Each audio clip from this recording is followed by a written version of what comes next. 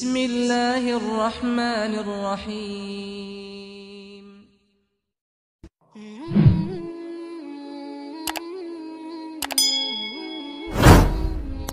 السلام عليكم ورحمة الله وبركاته.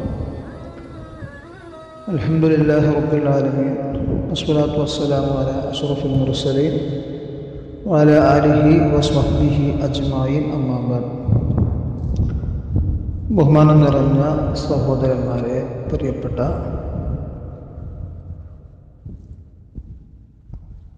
ശ്രോതാക്കൾ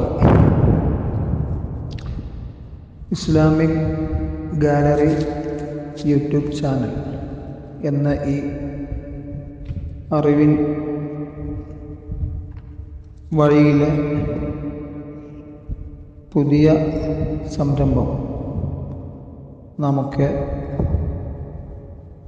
ദിനേന പരിശുദ്ധ ദീനിനെക്കുറിച്ചും നിത്യജീവിതത്തിൽ നാം അറിഞ്ഞിരിക്കേണ്ട പാലിക്കേണ്ട വിവിധങ്ങളായ കാര്യങ്ങളെക്കുറിച്ചൊക്കെ പ്രഭാഷണങ്ങൾ സ്ഥിരമായി നാം കേട്ടുകൊണ്ടിരിക്കുകയാണ്. അറിവിൻ പ്രഭാതം എന്ന ഈ പ്രോഗ്രാമിലേക്ക് എല്ലാവർക്കും ഹൃദ്യമായ സ്വാഗതം. അള്ളാഹു സുബാനഹുവത്താല അറിവിലൂടെ ഉയ ഉയർച്ചയിലേക്കെത്താൻ നാം എല്ലാവർക്കും അള്ളാഹു തോഫീക്ക് പ്രദാനം ചെയ്യട്ടെ. ജീവിതത്തിലെ ഏത് പ്രതിസന്ധികളിലും മനുഷ്യന് എന്നും തണലാകുന്നത് അവന്റെ അറിവുകളാണ്. അൽ ഇൽമു നൂറുൻ എന്നാണല്ലോ പുണ്യ പ്രവാചകൻ സുല്ലാഹു അലൈഹി വസല്ലം പറഞ്ഞിട്ടുള്ളത്. വിദ്യ പ്രകാശമാണ്. ഇരുണ്ട് കിടക്കുന്ന മനസ്സുകളെ അറിവിന്റെ ക്രിയങ്ങളെ കൊണ്ട് പ്രകാശപൂരിതമാക്കി. ആ ഹൃദയങ്ങളെ കൂടുതൽ ഊർജസ്വലവും പ്രവർത്തന ഫലത്തിൽ കൂടുതൽ മികവുറ്റതുമാക്കാൻ മനുഷ്യന് അറിവ് അത്യാവശ്യമാണ്. അള്ളാഹു നമ്മെ എല്ലാവരെയും അറിവിന്റെ വാക്താക്കളാക്കി തീർക്കട്ടെ. ആമീൻ. ഈ അറബല്ലാലിന് നാമകമായി കൊണ്ട് പ്രാർത്ഥിക്കുകയാണ്. നമുക്ക് മനസ്സിലാക്കിയതുപോലെ പരിശുദ്ധമായ ബലിപെരുന്നാളും അനുബന്ധ കർമ്മങ്ങളൊക്കെ നമ്മുടെ ജീവിതത്തിലേക്ക് കടന്നു വരാനിരിക്കുകയാണ്. അള്ളാഹു വിശുദ്ധമായ മാസങ്ങളെയൊക്കെ അർഹമായ ആദരവോടെ സ്വീകരിക്കാനും സ്വാഗതം ചെയ്യാനും അതിൽ അള്ളാഹു സുബാനഹുവത്താല നമുക്ക് കണക്കാക്കിയിട്ടുള്ള നമുക്ക് വേണ്ടി തയ്യാറാക്കിയിട്ടുള്ള നമുക്ക് നൽകാമെന്ന് അള്ളാഹു വാഗ്ദാനം ചെയ്തിട്ടുള്ള പ്രതിഫലങ്ങളെയൊക്കെ തന്നെ ഉൾക്കൊള്ളാനും അത്തരത്തിലുള്ള പ്രതിഫലങ്ങൾ നേടാനുള്ള പ്രവർത്തനങ്ങളുമായി ബന്ധപ്പെടാനും അള്ളാഹു നമുക്കൊക്കെ തോഫിക്ക് പ്രദാനം ചെയ്യട്ടെ. ആമീൻ യാ ഒരു മനുഷ്യനെ സംബന്ധിച്ചിടത്തോളം അവന്റെ ജീവിതത്തിൽ അവൻ ഏറ്റവും കൂടുതൽ ശ്രദ്ധിക്കേണ്ടത് വിശ്വാസി എന്ന നിലയ്ക്ക് നാം പരിശോധിക്കുമ്പോൾ സ്വന്തം ജീവിതത്തിന്റെ അർത്ഥം ജീവിതം കൊണ്ട് പടച്ചറപ്പ് നമ്മോട് പറഞ്ഞത് ഈ ജീവിതത്തിന്റെ ലക്ഷ്യം എന്താണെന്നും ആ ലക്ഷ്യത്തിലേക്കുള്ള പ്രവർത്തനങ്ങൾ നാം എത്ര കണ്ട് ജീവിതത്തിലേക്ക് അതിനെ ഉൾക്കൊണ്ട് പ്രവർത്തിക്കുന്നുണ്ട് എന്നും ചിന്തിക്കാനാണ് സമയം ചെലവഴിക്കുന്നത് മനുഷ്യനെ സംബന്ധിച്ചിടത്തോളം ഭൗതികമായിട്ടുള്ള ഇടപെടലുകൾ വളരെ കൂടുതലുള്ള ഈ സമയത്ത്. കിട്ടുന്ന സമയങ്ങളൊക്കെ തന്നെ ഭൗതികമായിട്ടുള്ള ചിന്തകളുമായി കൊണ്ട് ഇടപഴകിക്കൊണ്ട് ഭൗതികമായിട്ടുള്ള പുരോഗതിക്ക് വേണ്ടിയുള്ള പരിശ്രമങ്ങൾക്കിടയിൽ ഏറ്റവും കൂടുതൽ അവൻ ശ്രദ്ധിക്കുകയും ഏറ്റവും കൂടുതൽ അവൻ മുൻഗണന കൊടുക്കുകയും ചെയ്യേണ്ട അവന്റെ മാനസികമായിട്ടുള്ള വളർച്ചയെ അവൻ ഇല്ലാതെയാക്കുകയാണ് മാനസികമായിട്ടുള്ള വളർച്ച എന്ന് പറയുമ്പോൾ ആത്മീയമായിട്ടുള്ളൊരു പുരോഗതിയാണ് ഞാൻ ഉദ്ദേശിക്കുന്നത്. നമുക്കറിയാം ഇന്ന് ലോകമൊക്കെ കോവിഡുമായി ബന്ധപ്പെട്ടിട്ടുള്ള പ്രതിസന്ധികളിലാണ്. കോവിഡ് എന്നുള്ള രോഗം മാത്രമല്ല ലോകത്ത് ഏതൊക്കെ രോഗങ്ങളുണ്ടോ ആ രോഗത്തിനൊക്കെ പ്രതിരോധത്തിന് വേണ്ടി എന്തൊക്കെ മാർഗങ്ങളാണ് അതുമായി ബന്ധപ്പെട്ടിട്ടുള്ള ആളുകൾ നമ്മൾ നിർദ്ദേശിക്കുന്നത് അതൊക്കെ നാം സ്വീകരിച്ചുകൊണ്ടിരിക്കുകയാണ്. വാക്സിനുകൾ നമ്മുടെ നാടുകളിൽ സർവസാധാരണമാണ്. ഭൂമുഖത്തുണ്ടായിരുന്ന ഒരുപാട് പകർച്ചവ്യാധികൾ നാം നിർമ്മാർജനം ചെയ്യാൻ ശാസ്ത്രലോകം വാക്സിനുകളുടെ കണ്ടുപിടുത്തത്തിലൂടെ ലോകത്തിന് സാധിച്ചിട്ടുണ്ട് നമുക്കൊക്കെ അറിയാം. അതുപോലെ തന്നെ നിലവിൽ നമുക്ക് അറിഞ്ഞു കോവിഡുമായി ബന്ധപ്പെട്ട രോഗങ്ങൾക്ക് ലോകത്ത് വാക്സിനുകൾ കണ്ടുപിടിക്കപ്പെട്ടു. ആളുകൾ അതുമായി ബന്ധപ്പെട്ട് അതിന്റെ സ്വീകർത്താക്കളായി മാറിക്കൊണ്ടിരിക്കുകയാണ്.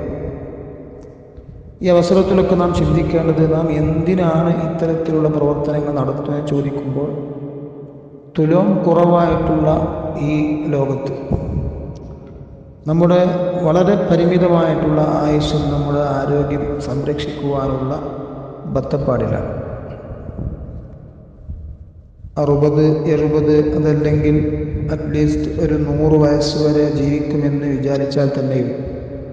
ആ ജീവിതകാലത്തിൽ നമ്മുടെ ആരോഗ്യം കൃത്യമായി കൊണ്ട് പരിപാലിക്കുവാനും ആരോഗ്യ സംരക്ഷണത്തിന് വേണ്ടി ആവശ്യമായിട്ടുള്ള മരുന്നുകളും ആവശ്യമായിട്ടുള്ള മറ്റു മെഡിസിനുകളും ഒക്കെ സ്വീകരിക്കാനും അതിന് വേണ്ടി എത്ര പണം ചെലവഴിക്കാനും എല്ലാവരും സർവാത്മന സന്നദ്ധരാണ് നമുക്കൊക്കെ അറിയാം.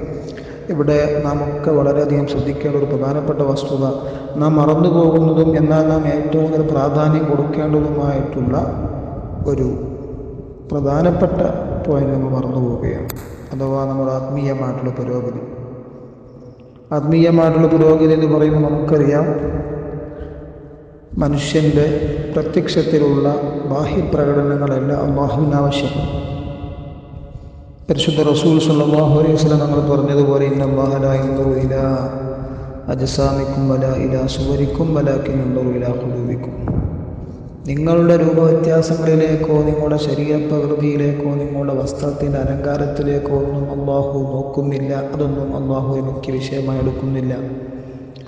വലാക്കിൻ യൻദുറു ഇലാ പക്ഷെ അള്ളാഹു നോക്കുന്നത് നിങ്ങളുടെ ഹൃദയത്തിലേക്കാണ്. നിങ്ങളുടെ ഹൃദയത്തിലേക്ക് നോക്കുമെന്ന് പറയുമ്പോൾ ആ ഹൃദയത്തിൽ രൂഢമൂലമായിട്ടുള്ള തക്കുവ അഥവാ നിഷ്കളങ്കതയാണ് അള്ളാഹു സദാ വീക്ഷിച്ചുകൊണ്ടിരിക്കുന്നത്. ഈ അർത്ഥത്തെ ഈ കാര്യത്തെ കൂടുതൽ വ്യക്തമാക്കുന്ന ഒരു ആയത്താണ് ഉലുഹിയത്തുമായി കൊണ്ട് ബന്ധപ്പെട്ട് നാം നടത്തുന്ന ബലികർമ്മവുമായി ബന്ധപ്പെട്ടും പരിശുദ്ധ ഖുർആൻ പറഞ്ഞൊരു വാക്യം.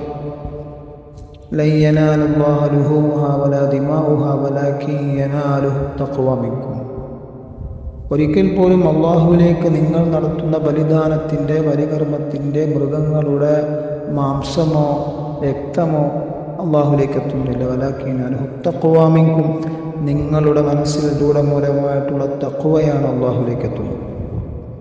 പ്രയാസപ്പെട്ടുകൊണ്ട് ബുദ്ധിമുട്ട് സഹിച്ചുകൊണ്ട് സാമ്പത്തികമായിട്ടുള്ള പരാധീനതകൾക്കിടയിലും ഉദഹ്യത്തിന് വേണ്ടി മൃഗങ്ങളെ വാങ്ങാനും ആ മൃഗത്തെ ബലിയെറുക്കാനും അതിൽ നല്ല ഒരു വിഹിതം നാട്ടിലെ സാധുജനങ്ങൾക്ക് ദാനം ചെയ്യാനുമൊക്കെയുള്ള ആ മനസ്സിന്റെ ആ ഒരു വല്ലാത്ത പ്രത്യേകമായിട്ടുള്ള നിഷ്കളങ്കതയിൽ നിന്നുണ്ടാകുന്ന ഈ പ്രവർത്തനം.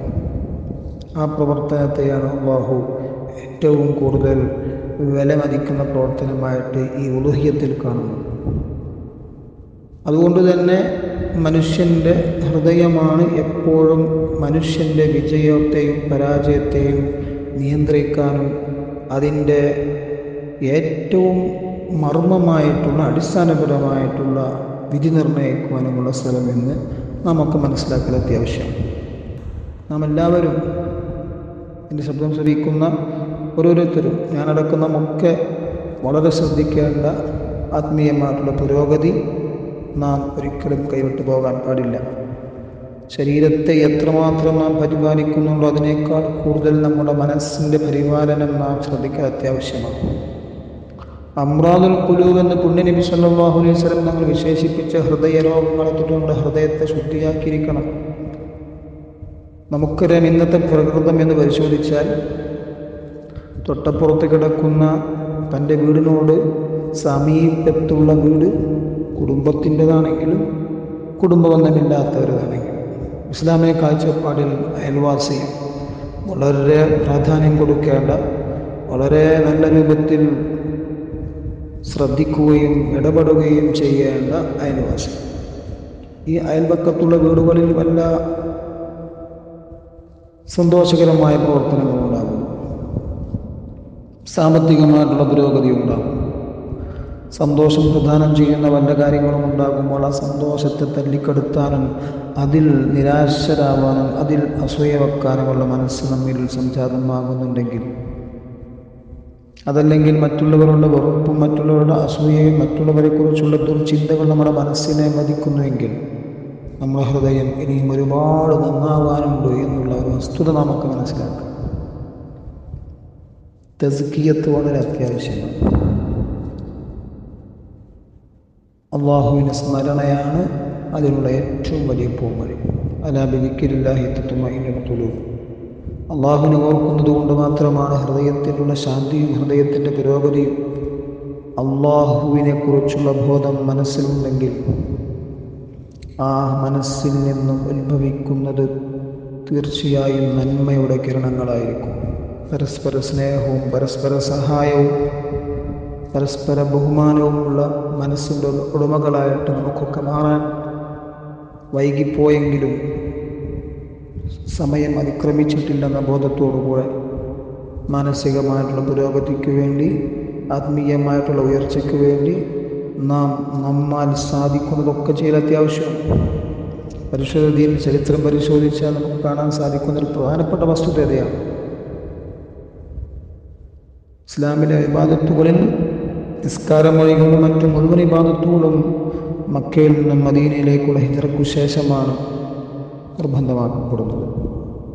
അഥവാ അമ്പത്തിമൂന്ന് വയസ്സിന് ശേഷം. പ്രവാചക നിയോഗത്തിന്റെ പതിമൂന്ന് വർഷം പ്രവാചക സുല്ലാഹുലിസ്ലം നൽകിയ സമൂഹത്തിന് കാണിച്ചു കൊടുത്ത തസ്കിയത്ത് എന്ന് പറയുന്ന മഹത്തായിട്ടുള്ള കാര്യം. മനസ്സിനെ പരുവപ്പെടുത്തിയെടുക്കുക എന്നുള്ള. ശരീരത്തിന് സ്വന്തം കൈപ്പിള്ളയിൽ ഒതുക്കാൻ സാധിക്കുക എന്നുള്ള വളരെ പ്രധാനപ്പെട്ട ഒരു കാര്യമാണ്. അതുകൊണ്ട് തന്നെ നാം ഓരോരുത്തരും നമ്മുടെ ഭൗതികമായിട്ടുള്ള ചുറ്റുപാടുകൾക്കിടയിലും ജോലി തിരക്കുകൾക്കിടയിലും ഒക്കെ നമ്മൾ ഇടപെടുമ്പോഴും ഏറ്റവും വലിയ ഏറ്റവും വലിയ ഉത്തരവാദിത്വം എന്നുള്ള ആ ഹൃദയത്തെ നന്നാക്കി. അള്ളാഹുവിലേക്ക് മടങ്ങുന്ന സമയത്ത് അള്ളാഹു ഭൂമി ലോകത്തേക്ക് നമ്മെ ഇങ്ങോട്ട് പറഞ്ഞയച്ചപ്പോൾ നമുക്ക് തന്ന സ്ഫടിക സമാനമായിട്ടുള്ള ആ മനസ്സ് ആ ഹൃദയം അത് അതുപോലെ നിഷ്കളങ്കമായി അള്ളാഹുവിലേക്ക് തന്നെ തിരിച്ചേൽപ്പിക്കാനും നമുക്ക് സാധിക്കണം. അള്ളാഹു സുബാനുഭവത്തെ നമുക്ക് തോഫേക്ക് പ്രദാനം ചെയ്യട്ടെ. ഇത്തരത്തിലുള്ള അറിവിന്റെ കേന്ദ്രം മനുഷ്യ മനസ്സിനെ മതിച്ചുകൊണ്ടിരിക്കുന്ന ദുർചിന്തകളിൽ നിന്ന് മനുഷ്യനെ നേരിന്റെ മാർഗത്തിലേക്ക് നയിക്കാൻ പുതിയ യുഗത്തിന്റെ സാധ്യതകളെ ഉപയോഗപ്പെടുത്തിക്കൊണ്ട് നടത്തുന്ന ഇത്തരം പ്രവർത്തനങ്ങളൊക്കെ നാം വളരെ സന്തോഷത്തോടെ സ്വീകരിക്കുകയും ഇതിന്റെ അണിയറിൽ പ്രവർത്തിക്കുന്നവർക്ക് നാം സാധ്യമാകുന്ന പ്രോത്സാഹനങ്ങളും സഹായങ്ങളും നൽകുകയും ചെയ്യണമെന്ന് ഓർമ്മപ്പെടുത്തിക്കൊണ്ട് ഞാൻ വാക്കുകൾ അവസാനിപ്പിക്കുന്നു. അള്ളാഹു നമുക്കെല്ലാം ഹൈർ പ്രദാനം ചെയ്യട്ടെ. آمين يا رب العالمين. السلام عليكم ورحمة الله وبركاته.